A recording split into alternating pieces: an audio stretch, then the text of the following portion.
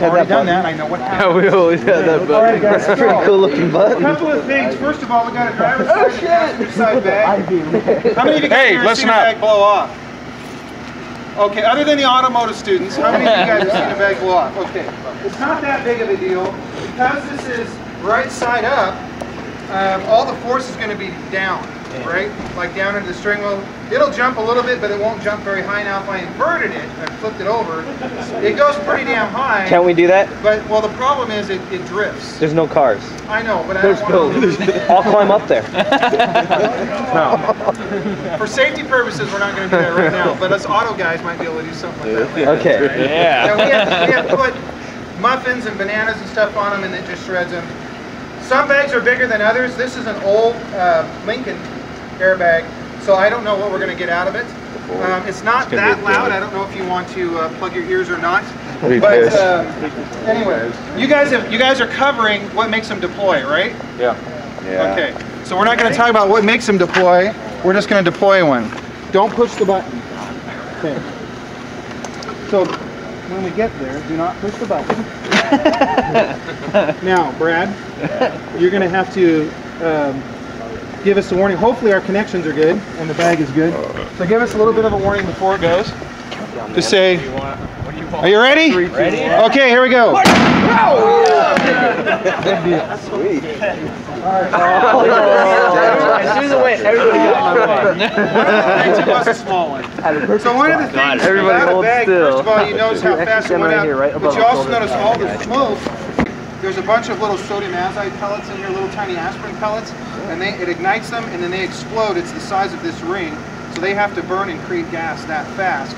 And to do that creates a hell of a lot of heat, and it smells good. So you can imagine, like our Dodge truck in there going off with all the side impact and the front impact airbags. That's a lot of bangs in a small area. I know. So, and then there's the, you know when you guys see them in movies and the air, where the airbags blow off? I think I just saw Christmas Vacation this weekend or something stupid, where the bag goes off and he's fighting with the bag because it's in his face. That's impossible. Look at the size of the, the bleed holes. There's a bunch of bleed holes in the back to get rid of the air so it won't stay inflated. It's inflated and deflated. It should, it can inflate fully and deflate in two seconds. So there's no way anybody could ever smother in a bag. You- You'd have to really be working to smother in a bag. So the other bag we have is this passenger bag, and the problem with passenger. All right. It's all up to Brad. Okay, Brad, don't push. Please move over. Move over. No.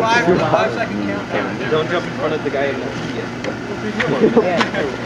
What do you want me to do? Here, I'll get. Go in front of the airbag. Yeah, good one. Thanks, Go over by the airbag. Give me five bucks. give us go one, two, three, oh, count to ten. Ten, nine, eight. Ten, Push it. nine, eight, seven, six, five, four, three, two, one. That was, that was way cool. So always drive. You're way back. Passenger.